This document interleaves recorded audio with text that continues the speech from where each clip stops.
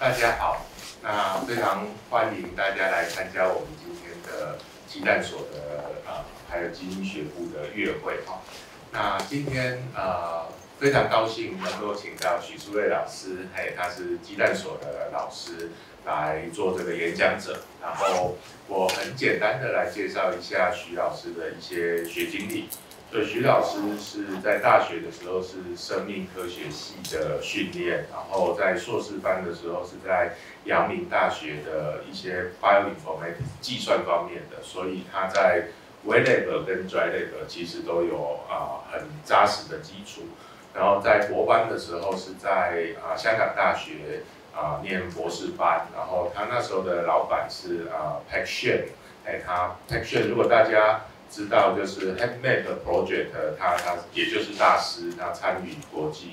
的这种大计划，然后包括大家用的很多的 Print 这个软体啊，Action 也是作者之一，所以徐老师是系出名门，然后这个非常正统的，在在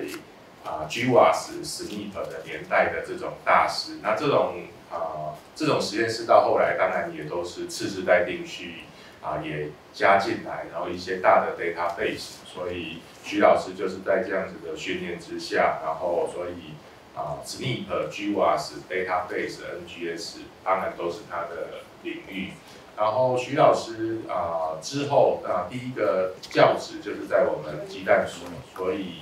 啊他在这里，我们很高兴在这个 medical campus 能够有他的这种。啊，bioinformatics 还有 human genetics 的专业能够在这一个 campus 有所贡献，那这个 campus 也很希望啊有有他这样的人。那徐老师有许许多多的合作啊，校内的合作、校际和台湾其他机构的合作，还有一些国际的合作。那我相信未来合作是这个领域的，当然是绝对重要的一个一个方向。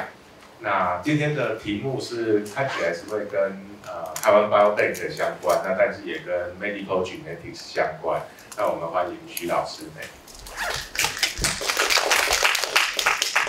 好，嗯，谢谢陈所长介绍，对，能能跟您一起共事是我的荣幸。那我也很呃，在这个 campus 做研究，其实是一件很开心的事情。那呃，今天主要会跟大家介绍这个啊，台湾 population 的 genetic 啊 variants。那如果说是以一个单一个个人或是一个 cohort 的角度来看这个所谓的 genomic DNA 层级的 genomic 的 profile，那特别会跟一些 medical 啊 genetic 相关的的事情这样子。诶，我看一下。好，诶，有一个 disclosure 就是我们在也是广告一下，就是说，哎，我跟陈佩勇医师、陈倩宇老师在 Medical Campus 有开 NGS Bioinformatics 跟 Genome Medicine 的课程，然后我自己也有开一个 Statistical Genetic 跟 Data Interpretation，主要是给呃分医所的遗传咨询专班啊上的统计课，那它材料就都是 Genetic 的 Data 这样。那我同时有呃一些产学合作，呃主要是跟台湾 AI Labs 这样子。那呃。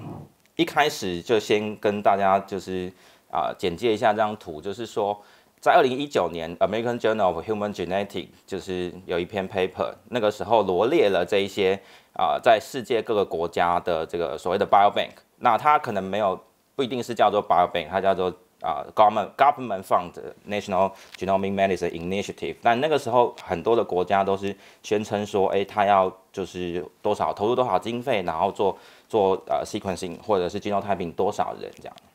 那为什么为什么会做这件事情？是因为其实 genetic 的 data 是可以累积的。那尤其到了这个时代，那个时候二零一九年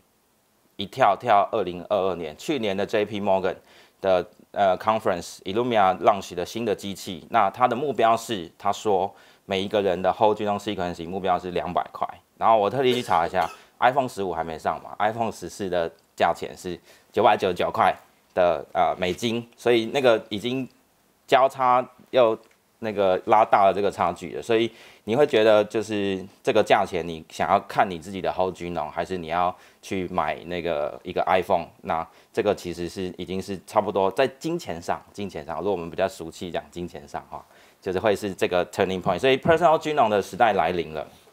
但是呢，实际上我们如果想要解决一些问题的话，我们需要看的是，诶，在这一些 database 虽然已经很便宜了，可是呢，database 里面到底现在有什么资讯是我们可以参考的？那其中一个最大的 database 叫做啊 genome aggregation database，那它 Nomad，它的不同的版本，即便是到现在最新的版本，它已经啊使用了超过七万人的 whole genome。但是呢，仔细去看这七万人的 whole genome 里面，属于亚洲人的也就三千个，而且这是这个亚洲人呢，是我们如果把南他它定位成是南亚跟定位成是东亚的算在一起的话，也就是三千人。也就是说，在现在的这个大的 database 里面，都是以白人为主的居多。那亚洲人的资料还是比较少。而且我们可以看到，以 genetic 来说的话，它的这个 South Asian 跟 East Asia，它的这个 genetic 的距离，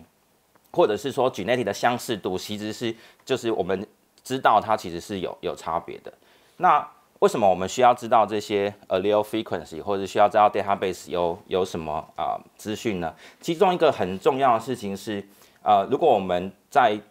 解读 genetic 的 in 呃 variance information，我们背上 ACMG 的 guideline 的话，这个是 ACMG 最初版本的一个 framework。那它其实是啊把每一个 genetic variance 的证据种类先做了一些分类。那其中一个分类就是 population data。因为他觉得，其实这个 genetic variance，它在 population 出现的频率这件事情，其实它是可以反映很多的啊这个疾病的，不管是发生率或者是潜在的一些啊 interplay 的 effect。那如果你看其他的证据的话，你会看到呃 computational 或者 predictive data、functional data、de novo 或者是 allele data，有一些确实在我们做 medical genetic 提供啊诊断的时候。是很强而有力的证据，可是这些证据的取得来源，其实都是需要比较啊日积月累的累积。那其中一个我觉得最客观的资料，其实是 population data，因为当你有了一个可以反映你的 population 的时候，你去好好的做它的 genotyping，你就有办法算出这些 allele frequency。当一个 allele frequency 给你一个数字的时候，这个数字其实是。啊，我觉得是相对客观的，因为它就是一个族群里面算出来的这个啊 frequency，所以嗯，我觉得我们就花了一些时间在看说，哎，那些 database 里面可以提供什么样子的 population frequency 的 data 这样子。那回过头来台湾看的话，其实台湾有台湾 Biobank，那它其实是一个 community base，也就是说它的 inclusion 当初的 inclusion criteria 其实是成年人。然后呃，你只要在 enroll 的那个当下不是正患有癌症的情况，其实你就符合资格可以参加。也就是说，我觉得以这个 database 来说，以这个 cohort 来说，它是蛮能够反映了真正台湾的这个 general population。你就把它当成是 general population。那当然，我们其实也很多不同的 study 其实都有 confirm 的这些啊，在台湾族群中有来自不同的啊。族群小的族群，那它会有 population structure，这个没问题，因为我们知道它的 structure 存在。但是以这个 database 以这个 cohort 来说，我们还是可以从这当中得到很多的啊，刚刚说的 minor allele frequency 或是 population frequency 的 data。那有了这些资料，我们就是可以进一步去回答说，哎，这些 genetic 的 variance 所在这些基因是不是真的跟我研究的疾病相关？是不是跟我就是想要就是给提供啊提呃。医师提提供啊临床诊断给这些病人有关，那这些 genetic 的 variance 是不是真的是啊 causative？那如果知道的话，知道这个 genetic 的 variance 到底可以有一些后续医疗上可能可以做哪些事情？那这个其实是我实验室的的啊中心的所有的主题，其实都是围绕着这件事情。那我们来看台湾发布的 data 的话，其实啊。记录的很清楚，也就是说，它的每一个资料收集的时候，如果你如果我们真的申请了台湾发布的 data，然后我们去做就是不同 data set 之间的的串接的话，你会知道有一些人他是用某一些 sequencing 的平台做的。那 total 呢，其实有大概两千人的 data。那其实除了 whole genome sequencing 之外，它又会它也有 genome typing 的 data，然后也有 HLA typing，还有一些问卷章或者是呃。生化数值，那一开始其实这些资料就是大概 whole genome sequencing，大概是两千人。那但是其实参加者是可以选择你要不要退出的，所以他呃，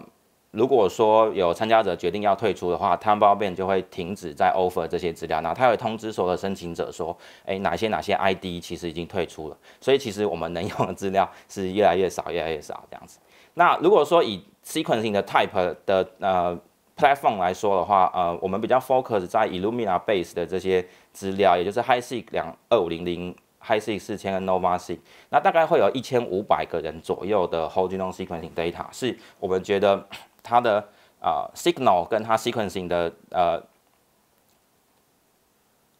机器或者是系列是一样的，那我们以这个为出发点来来做进一步的分析，这样。但是其实台湾包 Ben 本身对于这些资料，它已经做了一个初步的分析，所以各位如果有使用这个台湾 View 这个网站的话，其实在上面其实你已经可以查到很多资料。但我们仔细去看了一下，说，诶，其实这些资料已经存在在那里一阵子了。那那个时候它所使用的一些分析的版本啊，所使用的一些工具，那我们把它整理出来。你可以看到说，哎，其实啊，Human Genome 的版本确实是啊，有提供不同版本的资料，这个其实非常有用，就是对于啊临床诊断在做 Variance Filtering 来说，你想看台湾的 Population，你就已经可以用了。那这个资料其实啊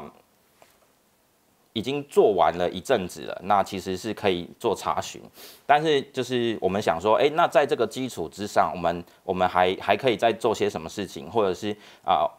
资料在那里，可是我们知道有些工具也许可能可以 performance 的更好的话，我们有没有机会把这些资料重新再分析一遍？然后啊，或者是重新再分析一遍，真的会比较好吗？我们其实一开始想的目的是这样，所以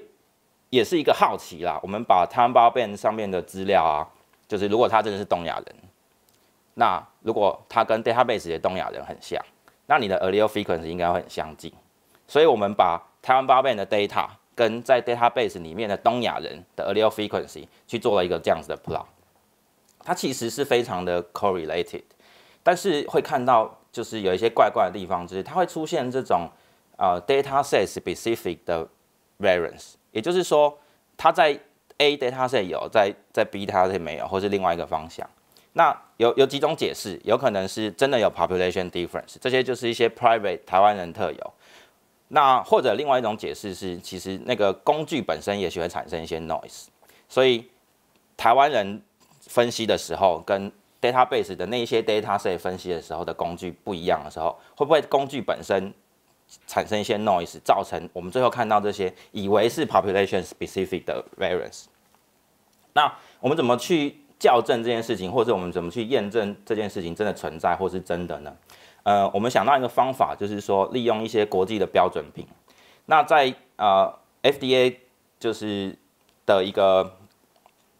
管理啊，或者是说它的一个 affiliate 组织里面有一个这个呃 National Institute of Standard and Technology，它其实就是像美国的国家标准局。那他们其实就是在致力于你怎么提供一个标准品，然后去标准化这些 NGS 或是定序 Human Genetic 的资料分析。那当中有七个人。那他的编号就从 HG 零零一到零零七，这一些人只要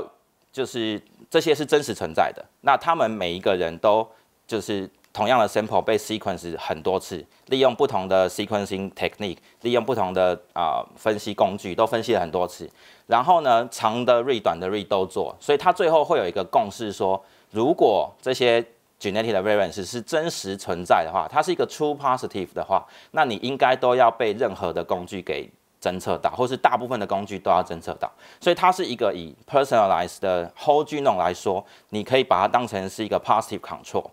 那任何的工具，只要你把这些 data set 纳进来的话，你就有一个统一的标准可以去比较说，哎，你的这个分析工具到底有没有啊？至少是在一个很高的水准，不见得是最好，可是至至少是在一个很高的水准。那这个 precision FDA 也就是 FDA 的组织提供的一个啊比赛，那它就是提供这些标准品，然后让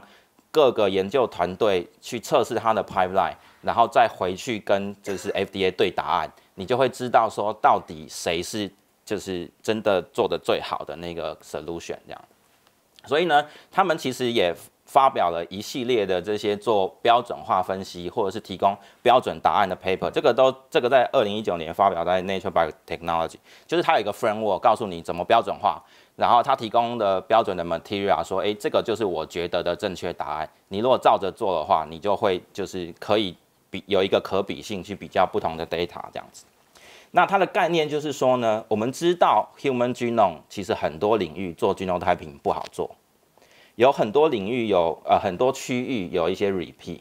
所以它先框下了一个框框，就是说，哎，如果我们先把那些 repeat 都先排除不看，我的整个 whole genome 里面不看那些 repeat 的话，剩下的区域就不应该受到 repeat 的干扰。那不应该受到 repeat 的干扰呢？它理论上你在做 sequencing technology 的。开发或者你要侦测这个人是不是在这个位置真的有一个 genetic variance 的时候，你就是可以排除这个条件，然后看它是不是真的存在。那你就有机会去计算说，你你做出来的这个 detection 是属于 true positive 还是 false positive 还是 false negative。那这样子的情形呢，其实你就可以去去比较不同的工具。那他们自己在这个不同的竞赛里面，其实也针对了 genetic 不同的区域。还有不同的 sequencing technology 也都有举办过，就是不同的排列组合的竞赛。比如说最新版本的这个 version two 呢，它就是把资料分成 long read 的 PacBio，跟 long read 的 ASPER Nanopore，跟 short read 的 Illumina。然后呢，它把 genome 分成三个区域，一个是 difficult to map 的 region，就是有一些可能是 repeat 的 region，它其实在 alignment 本身本来就不好做。或者是他们觉得这个可以 benchmark 的 region，就是排除那些区域，你理论上应该要做得很好的。还有就是传统大家都知道难做的 HLA、MHC region，所以它有把 genome 分成不同等级，然后你再把不同的资料形态的的定序资料都都提供出来，然后让各各家厂商或者是学术单位都去竞争，去看说，哎，到底谁做的会是最好？那我们可以看到说，以那个时候的 precision，呃。FDA challenge 来说，如果是 Illumina base 的，那会发现他们自己的这个 Dragon 的这个 solution 是最好的。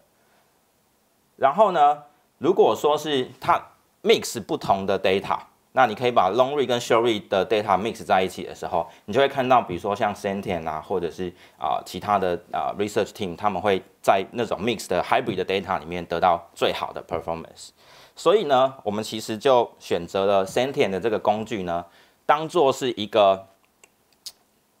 经得起考验，它应该比较经得起考验的工具，然后来重新 process 的这个台湾 Biobank 的资料。那我们透过一个呃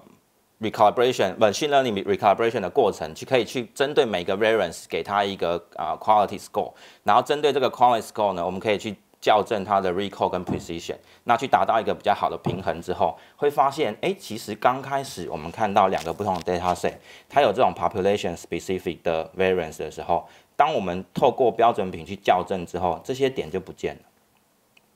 那也就是说，哎，也许可能真的存在一些 take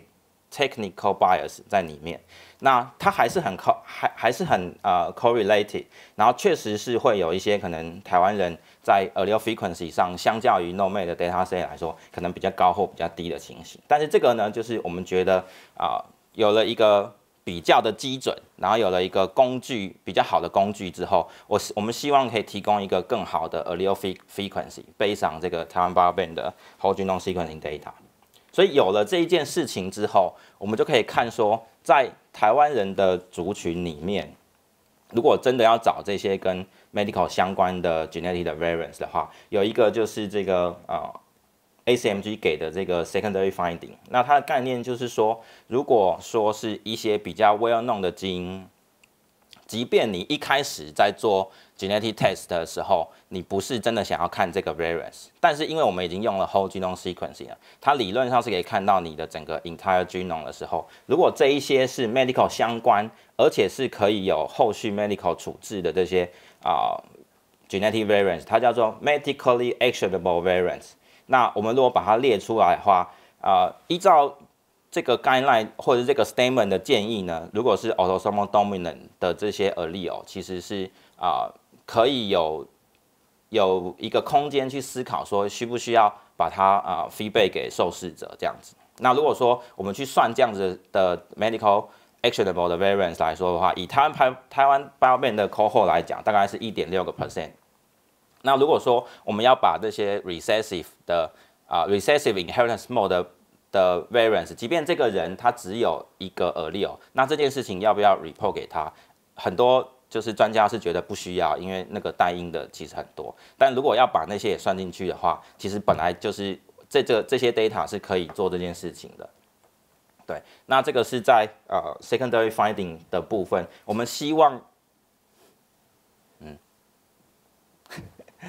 就是如果说这些呃 actionable 的 finding，它其实本来是一个黑天鹅的事件，透过这样子的情况，是不是有机会就变成一个灰犀牛的事件？那它也许可以啊，真的做些什么去预防那些疾病这样子？那。如果说是 overall 来看，我们可以去看这些就是 genetic disease 的 carrier frequency。那其实差不多的 data 已知已也有很多其他的啊 study 有做过。那我们如果在 t i m e b a r Bank 我们看说这些啊台湾常见的这些 genetic disease 的 carrier 的话，那我们会看到就是跟听损有关的这个 GJB2。那啊。也许很多专家在这边都知道，说他台湾人身上本来就有一个很高频的这个呃 GJB2V37I 的这个点位，那它其实在台湾包变大概占了八个 percent，也就是说在这里你会看到说，哎，这个跟 hearing loss GJB2 有关的那个 carrier frequency，它确实是会比较高，但却实际上是因为在台湾的族群里面本来就有一个。啊，比较高的 founder effect 的存在的这个啊 V37I 的 variance，那在临床上的表现，其实它是这这个 GJB2 造成的啊听损，大部分是大部分是 autosomal recessive，所以其实你要两个 allele 才会就是真的有 phenotype 产生。那即便是这个 V3CI 的 homozygous 呢，可能在临床上也会看到有些人啊，其实没有什么太明显的听损，它的这个 phenotype 的。variation 非常的大，那我们一一开始我们可以先针对这个呃不同的基因，可以去算这个 carrier frequency，然后我们就会有一个结果说，哎，那啊在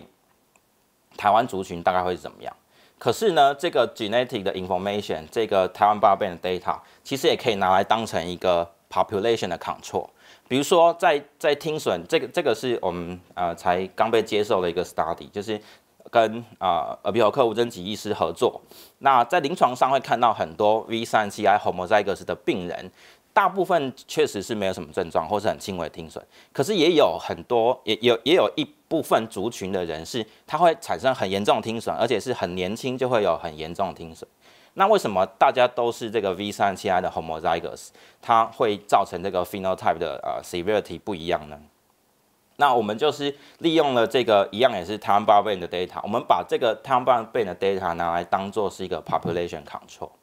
然后透过在台大医院就是收集的这些病人的 NGS 的 data 呢，我们就是做一个简单的 association 的 analysis，然后就看到说，哎，其实有一个属于 CRYL1 的这个点位呢，它其实本身是一个 common 的 variance，它在台湾 Bio Band 大概是十几个 percent，但是在那一些 V 三加 homozygous 的病人里面，它就是比较多都就带有这个呃 CRYL1 的这个 variance，那它的 R ratio 可以到五倍，相较于这个没有带这个 CRYL1 的这个这个 variance 的的病人来说，所以如果说是以 V 三加 homozygous 这群病人里面，我们本来就有找到有一些人，他是他有他有另外一个听损的基因也受到破坏，所以他就可能会有加成的作用，让他的听力损伤更严重。可是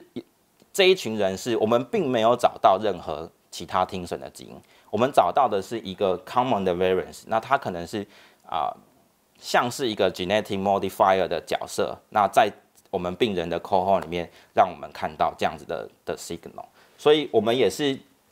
在 population 里面，就是做完了那些 QC 之后呢，那些资料其实就把它当成是 population 的 data，那我们就实际上可以拿来跟在台大医院收的这个啊 cohort disease cohort 来做比较，那就有机会在里面就是再挖一些东西这样。那这个工作是来自于呃，主要是由我们鸡蛋所的江玉婷同学完成的这样。然后呢？如果是台湾 Biobank 的 data，如果是 Whole Genome data，它 Suppose 其实就是整个 Genome 都做了嘛。那我们在想，其实也有看到很多工具，它是可以用 whole genome sequencing 做 HLA typing。然后呢，在台湾 Biobank，其实它同样的一群 coho 有一群人，他其实是同时具有这个 whole genome sequencing 跟台湾 Biobank 当初他们做的 HLA data 的。也就是说，这些人其实台湾 Biobank 就已经提供了他的 whole genome sequencing，也提供了他的 HLA data。那这不就是一个很好的 benchmark 的 data set 吗？那我们就想说，诶，如果真的是这样的话，那我就拿它的呃 whole genome sequencing 的 data，然后去测试几个比较啊 performance 比较好，或者是它发表在比较好的 journal 的这些 A whole genome sequencing base 的 HLA typing 的工具，然后我们就有机会去说，诶，哪怎么样子的工具其实是可以拿来在 whole genome 的世界里面做 HLA typing。或者是有，其实目前的工具也都没有做得很好，我们对于对于工具的开发，可能也还有一些进步的空间，所以我们就试着做这件事情，这些也都是从呃台湾 Biobank 的的公开，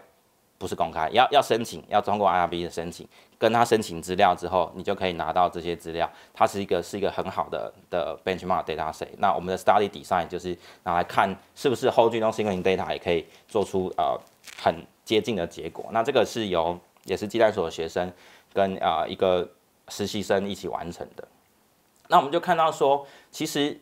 它的这个呃 allele 的 sensitivity 啊，在不同工具里面其实会有差异。那我们这里比较的是啊 HLA、VVC、HiSeq、Genotype Dragon。那会看到说，哎，它其实已经可以达到一个还蛮不错的这个 sensitivity，就是最高也许可以到百分之九十几。可是有一些资料呢，有一些特殊的 allele，它确实是在有限的 whole genome sequencing 的三十倍的深度里面提供的资讯不太足够。那提供的资讯不太足够的话，那那个时候那些啊特定的 HLA 的 allele 其实就没有办法被更正确的 typing 出来。但是我们透透透过一个组合的方式，就是我们知道说，诶，如果我们用 HiSeq genotype，它其实 overall 的 performance 会最好。但我们也发现。有某一些在台湾人特殊的而立哦，它只有在啊 VBC 这个工具可以做得很好。那我们后来推测是因为 VBC 这个工具是由日本的团队开发的，所以它可能当初这个工具的的设计就是比较对东亚人比较 sensitive。但是我们透过这个组合的方式，我们知道哪些 allele 它应该要被做做对，而且可以被做对。那有一些 allele 它就是一直会错，一直会错。那透过这样子的的资料呢，我们其实也可以建立起一个啊，可以用 whole genome sequencing 做 typing 的方法。那我们就去看说这些跟 pharmacogenomics 相关的这些 allele，即便它在 PharmGKB 里面它有不同的证据等级，但是都是这些 HLA 的 allele，它就已经知道是跟某一些的 drug 是有 association。那有一些其实是我们很常知道，很很很啊。证据等级很高，临床上也都已经在测的这些 allele 的 type 的时候，把这些都统计出来、计算出来，那你就可以知道说，如果我们把证据率稍微放宽，它是到一 A、二 A、二 B 的话，也许是七十五 percent 的人在这个 cohort 里面，它就会带有至少一个 allele。但是如果我们把证据缩小到，即便是只有一 A 的这些 allele 的话，大概会是十九个 percent。也就是说，即便是在台湾人的族群里面，你把这些不同的啊种类的这个 risk allele 加起来，其实是真的蛮有一个族群的人是是呃要需要特别小心的。那这个是我们整理台湾 b i o b a n 的 data。那如果说是 whole genome sequencing，其实我们可以看的 genomic 的呃 variance type 还很多。那我们也试着去看这个 structural variance。那在 database 里面，其实也是这几年大家也都知道这件事情可以做，所以你一旦有了 whole genome sequencing data 之后，它就也会开始去 profile 它的呃大的 structural variance。那跟前面的呃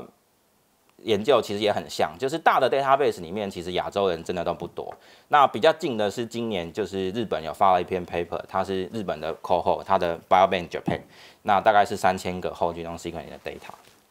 那我们试着去看，就是在台湾 Biobank 要做这件事情的时候，我们也去找看是不是有标准品，是不是有一个 benchmark 的过程。那同样，其实在美国国家标准局跟那个啊 Genome in the Bottle，它针对这种 germline 的 large deletion 跟 insertion，就是你要超过一定的长度，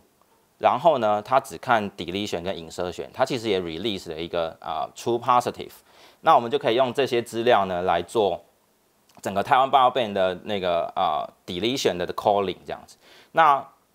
可能啊。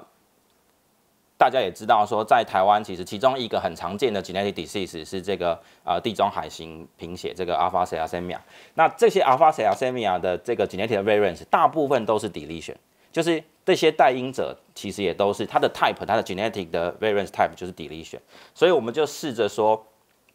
如果我们可以好好的分析这些台湾 Bio-band 的 deletion 的话，那我们是不是也能够去估计这个 thalassemia 的 carrier rate？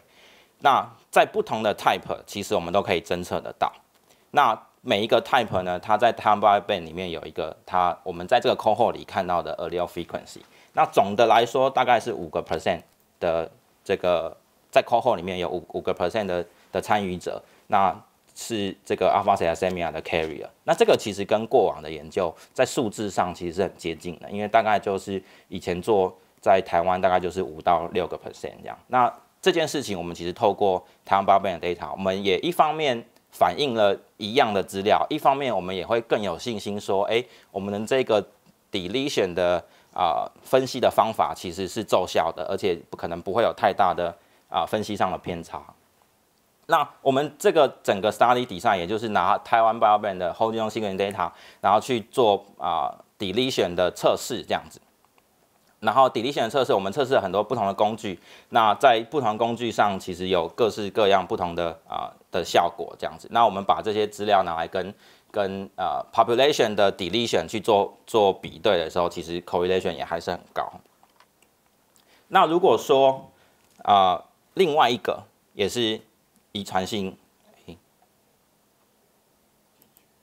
对，就是另外一个也是在临床上很重要的是 spinal muscular dystrophy。那它是有 S M one 跟 S M two，它是一个很相似的基因在附近。那这种呢，其实在 s h o r y 的事件里面，其实就是很难做。那在啊 Illumina 的 Dragon 呢，它其实有一个 S M N 的 caller。那我们试着去就是分析，也一样是 Time Band data，然后去看说，哎，属于这个 S M A 的 carrier 大概有多少？然后我们发现，在这个 cohort 里面有二十三个 carrier，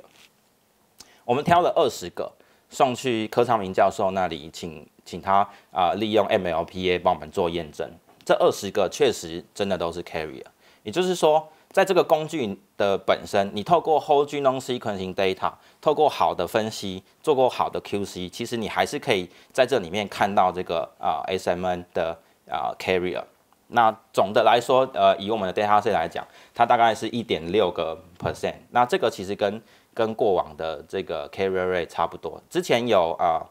应该是苏一宁医师以前做过，大概是二点多个 percent。那呃，不过他的计算方式是比较悲伤啊，来门诊的啊，如果其中一位是的话，你再把他的家人或是啊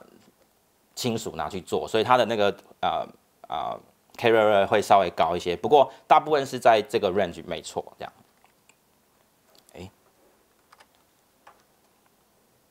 那另外一个呢？其实因为是抽全血，因为是做 whole genome sequencing，其实我们也可以看 mitochondria 的 homoplasmy 跟 heteroplasmy。那其实，在血液里面，它的 hom 呃 mitochondria 的这个 copy 其实是更多的。这样，那我们透过一些方法呢，其实是可以把这些因因为你在做 alignment 的时候，你还是可以把那些 sequencing 的 read。去跟 mitochondria 的这个呃 reference 举弄去做做 alignment。那比较 tricky 的就是 mitochondria 是一个圆形的，所以你在做 alignment 的时候，你可能需要啊、先把这个圆形的变成一个 linear 的的 reference 举弄做一次，然后它会需要有一个 shift，因为它没有办法就是从最后一个又再接回头头头的地方，所以你就原本是这样子，然后你就把它大概转九十度之后的的感觉，那你就会再做出一个 linear 的 reference，是针对那个一开始的的的 region，你就还是可以把整个它是 circular 矩弄的这个 alignment 给做完。那我们就一样可以去计算说，哎，在台湾人这一些 homoplasmy 的人有多少？因为它的 allele frequency 的计算方式就已经不是说，哎，单一个 allele，如果每个人都是两。呃一一套染色诶一对染色体，然后是两个 allele。那如果是呃 mitochondria 的世界里面，它的一个细胞里面可能会有很多套，所以它看的是这一很多套，它到底是不是同一种，或者是它是不同种。那不同种的差别就是会有这个 heteroplasmy 的差别。那这件事情其实我们我们也也也可以做。然后我们也也就是试着分析了台湾胞变的 data 之后，把这些在台湾包边看到的，不管是 Homo p l a s m i 或是 heteroplasmy，把它拿出来，然后也是跟在 database 里面的亚洲人去做比较，就看到说，哎，其实啊相关性是很高的。也就是说，你看到的这些 Hetero p l a s m i 其实就是哎亚洲人就都是 heteroplasmy。你看到 Homo p l a s m i 亚洲人亚洲人也都是 Homo p l a s m i。然后呢，其实有一些已经知道跟疾病相关的 mitochondria 的点位，那这些我们也可以查。那我们就是看到说，哎，其实有这一些是在 mitomap 里面已经知道是跟啊 mitochondria 相关的 pathogenic variant。那其实最常见的就是这个 mitochondria RNR1，它是一个会啊吃了某一些药物之后会产生耳毒性，会产生听损。那这个其实啊在临床上其实也就也就大家都都很知道这件事情。那它在台湾人的呃，至少在台湾报备的这个这个扣号里面，其实也是占有一定的的比例这样子。那我们另外一个其实很感兴趣的就是，其实买了空嘴啊是啊很多时候可以拿来做这个啊演化的一个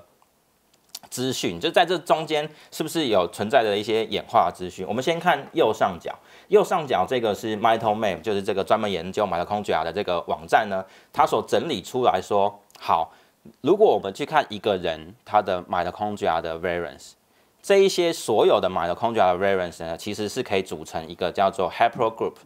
那它的 haplogroup 呢，其实就会很明显的看到有不同的分类。那那些分类呢，实际上跟地理的位置环境跟迁徙其实是有有一有一些关系的。目前证据这样看起来，觉得说，哎，像 L3 它就是从 Africa 出来，然后它会有一个 M 的 group，有一个 N 的 group。然后 N 的 group 呢，就是到了欧洲；M 的 group 就是到亚洲，然后它就会有一些 sub group。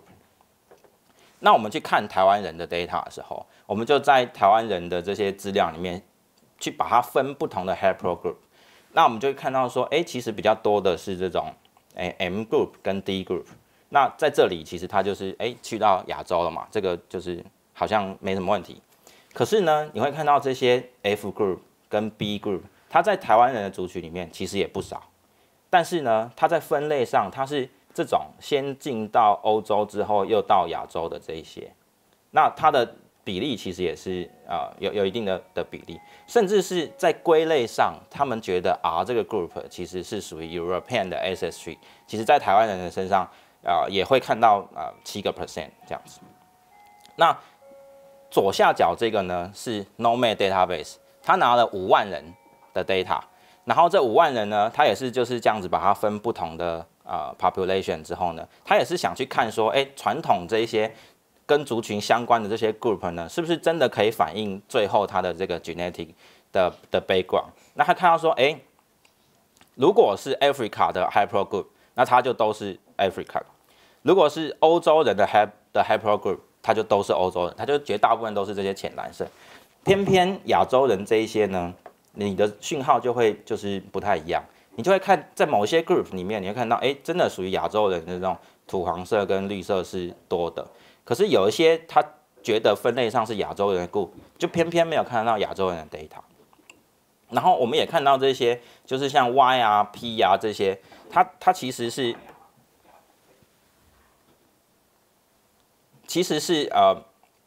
可能是在亚洲的这些 group，但但实际上我们在台湾八倍的 data set 里面没有看到太多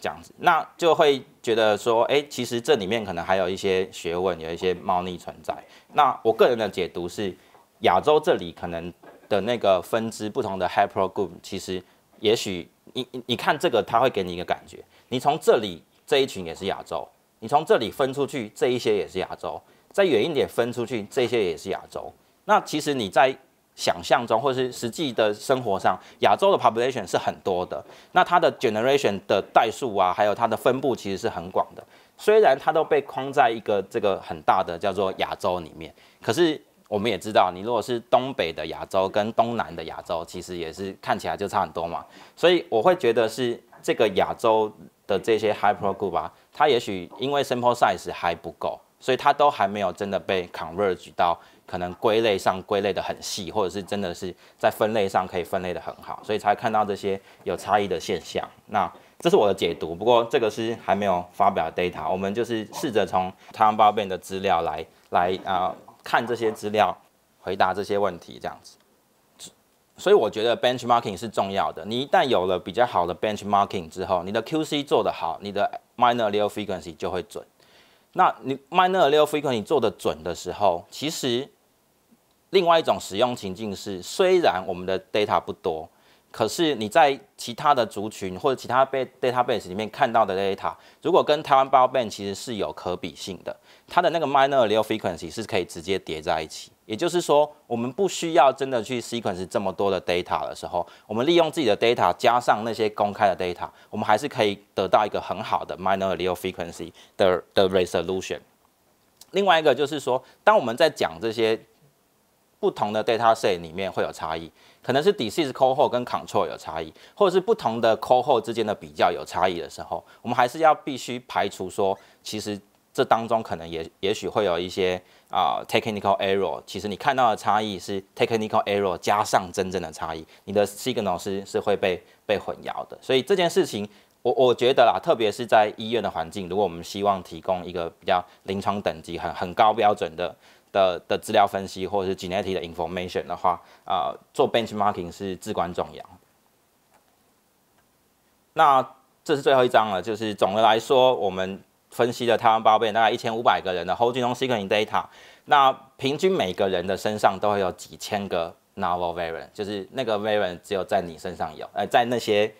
participant 的身上有，那在其他 base 都都找不太到。然后我们可以看说，它有一些 H O A 的 risk allele。你如果看啊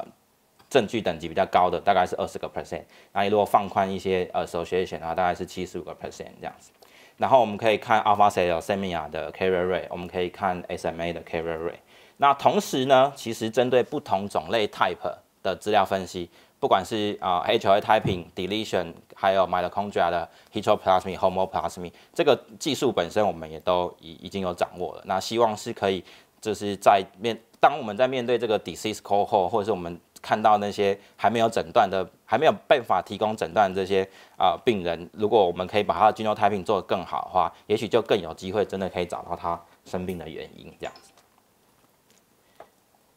那最后就是啊，谢谢 Time Bank，就是我们有就是啊，通过 IRB 申请了整个 Time Bank 的资料，然后还有就是我在 Medical Campus 合作的，就是各位医师、各位老师，那还有我的实验室的这些伙伴，那也谢谢呃台湾人工智能实验室，还有啊国网中心提供这些运算资源，还有我主要的 Funding Agent 是国科会这样，谢谢大家。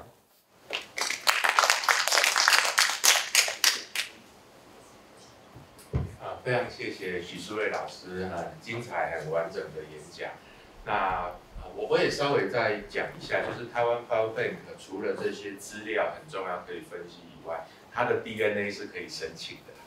所以，所以我们看到任何觉得有兴趣的 genotypes，其实是我们自己在实验室可以重新再做，可以去验证。哦，所以这个对于啊 Jacob 老师的研究也也非常的有帮助。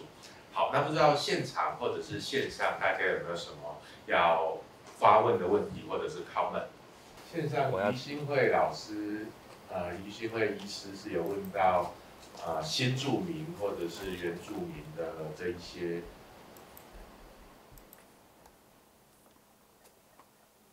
哦，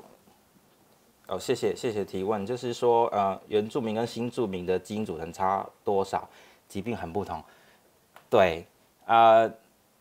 我们也试着想要回答这个问题，但是在台湾包变的 data 里面呢，其实原住民的比例很低，然后呃新住民也很低，所以啊，我觉得这个是重要的议题，因为本来原住民就是有一个独特性，但是它的因缝抗生的过程确实是不太一样，那个就是需要一些 effort。那新住民呢，其实在整个台湾的 population。所占的比例也越来越高，而且有一个也许一个也也是一个想法吧，就是啊、它其实是如果我们把它想成是 South Asia 的话，那它理论上在跟在台湾的这些啊、原本台湾包边收的人，如果他真的看到 population 有有 structure 上面有不同的话，其实也不会太意外这样。但但真的，因为我们现在主要的 data set 还是来自于台湾 Biobank 的话，啊、那里面真的啊、原住民跟新住民就是资料没有很多这样。对，如果各位有知道哪里有这些资料，就请提供给我，我们可以把它再合在一起做这样子。谢谢。是台湾博物馆当初在收的时候刻意啊、没有收原住民，哦，因为啊引引封 consent 啊 consent 或者是 IRB 涉及到原住民就比较敏感，所以当初因为时间，所以他刻意刻意没有包含原住民的部分的。不知道，哎，来徐佳良老师，我问一个简单的问题，就是关于那个买头跟群众啊，就是就我所知，呃，买头风很多上面的基因是在体染色体上面也会。那你像这种修理的状况之下，是有办法区分它是属于体染色体还是买头风群众上面？对，嗯，谢谢学长。就是它的概念是这样，就是你你如果定序深度是三十倍、四十倍的 whole genome，然后呢，你去看那个 genetic 的 variance，它所占的比例，或者是其实在这之前先先退一步，就是说在血液细胞里面，它的 mitochondria 的 copy 有多少？那他们就是之前做了一些 simulation，就是我们使用这个 pipeline，也就是 Nomad 用的 pipeline，它的 simulation 的结果是说，如果你的 mitochondria copy 是在五十个以下的话，确实是那个 variance 本身会发生 mitochondria 跟 nuclear genome 会有干扰。可是如果你的 mitochondria 的 copy 是超过五十，也就是说它的比例上你就不太可能会看到在在那个 nucleus genome 里面。同样的那个定序的深度，就会把那个深度拉开的时候，你在深度拉开的情况下，再 dictate 到的那个 variance，它就不会再受到啊、nuclear genome 的干扰了，这样子。所以我们现在看的，它都是已经排除那一些你看到的这个呃 genetic 的的呃 copy number 是比较低的，但确实是会有。所以如果有一些真的是很 low frequency 的 histoplasmy，它确实是会有极限。是是，哎是是，那个这个，好，那个那他们也发表过 a m o Bank 的，就是族群的分析嘛，跟嗯嗯嗯。跟亚洲或者中国那边，那那你你有看觉得我们自己台湾的族群的整个 genetic 呃呃 background 到底是，比如说跟 Southeast Asia、East Asia 或者 China 的北边南边，你觉得嗯，你你有有印象吗？有有有有，因为因为我只老实说，我那个图稍微看，我不太同意他们的 interpretation，好不好？不过不这个这个当然不是 political issue 嘛，因为你做 genetics 本来就是你这个 population background 本来就是很重要。是是是，嗯，比如说啦，因为我我之前在香港大学，那我们会想象中其实啊、香港也是属于南方汉，但是其实南方汉呢，你如果真的要再很细分的话，其实是还是会看到差异的，所以我觉得有时候是 resolution 的差别。如果我们 resolution 不要放那么细的话，南方北方有差别，我们比较接近南方汉，然后我们跟日本有差，跟韩国有差，这个是肯定的。那我们跟东南亚其实也是有差，可是你如果把它放在南方汉的这个族群里面，南方汉其实是一个蛮长的、蛮大的 gradient。呃，福建、广东、广西其实完全不一样。对对对，所以嗯，看起来确实是跟我们想象中的主成分，也就是说，呃，河洛人、闽南人这些居多，然后有一些客家人，有一些呃其他省份，在台湾包贝里面，其他省份它其实是啊、一个大的分类，就是其他省份，它就没有再分那些呃其他的省的这样。我也觉得我有看到一个尾巴，实际上跟东南亚那个对对对非常像。对对，那那我是觉得那那部分搞不好就代表平埔的血统在里面，哦，你才能够解释这个东西。是是，包括这个当然是在以后呢。那另外一个刚好就 follow 加朗的马尔空局啊，因为你马油通局看到的只是 WBC 里面啊，所以所以这时候当然从马尔空这个金融的 Apple Type 要来解释疾病的时候，有时候就有很大的困难，因为这时候每一个 somatic cell 其实它马的空这个金融又又可能会有很大的差别，因为还有 bottleneck 的问题。是是是，那这个这个我我不知道将来要怎么解决这个这个事情，还是说我们就也只能迁就这样。对，谢谢谢老师提问。哎、e x a c t l y the same。我们写计划的时候，reviewer 就是 criticize 这个，呃，对，但但是我们觉得是一个 baseline，就是说你有一个族群的 WBC 长什么样子，那那那他就可以很容易假设，比如说 cancer，你你真的去拿他的那个 tumor cancer 的时候，那现在他真的也是去做 whole genome sequencing 的时候，我们其实可以 dictate 到他那个特定的组织的 mitochondria，那他有一个 baseline 可以比的时候，我觉得也也不错。那至少我们从这个台湾 b i o b a n 的呃周边写里面先去建立这个呃可能是周边写的 baseline 或是 population 的 baseline，我还是会有一些使用上可以用得到的地方。谢谢。是，的确，目前临床上的检测第一步也还是是周边血那周边血跟肌肉跟神经系统差多少？它可能有不错，有有正相关，但是的确不同的人或不同的相关性不见得完全一样。不过也顺着就是嘉郎还有杨教授的这个问法，就是 whole genome sequencing 比 whole exome，当然以前 genome 贵很多，但是现在的 Hold 举动已经没有 oso 贵太多了。然后再来 Hold 举动其实也赠送的呃买头工具啊举动的 data。oso 基本一般是不太不太容易看到呃买头工具啊的 data。我我们最后一个问题，我看到线上还有人在提问的、有一位呃 p a x o n 网我好我我我我知道你的问题，这个也是。我的其中一个计划的题目。其实大家都是专家，呃，在 cancer 的领域呢，其实大家都想知道，如果是 somatic variants，它那些 low frequency，它应该要怎么 detect？那针对这件事情呢，因为它就不像刚刚讲的那些有标准品，它真的是有一个人 sequence 的，因为 cancer 简体不会有这么多嘛，所以其实大概在去年前年也是一样，FDA 的同一个组织，它用了一个方式是，它把十种左右不同的 cancer cell line 混在一起，所以你想象中就是一个 c 一个 cancer cell line，你已经知道它有那个 variance 的时候，它应该占的是百分之百。可是你如果是十个 cancer cell line，你可以你就是可以去操作它的那个 cell line 的比例，比如说它是十分之一或百分之一。那你如果知道你的那个 cell line 的 mix 这个 variance，你的细胞株是百分之一，你就应该预期你去定序出来的结果要看到在百分之一的那些 allele frequency 可以看到这个 variance。所以他用这样子的方式去成功的做做出了一个以 cell line 为主的标准品。我们也实际上拿了这个以 cell line 为主的标准品的 data 去做了不同的这个 somatic mutation 的的那个 Core，然后也发现就是有一些不同的工具，就是啊、会有 performance 上的差别这样。不过今天就没有时间跟大家分享这个部分的。谢谢谢谢你的提问。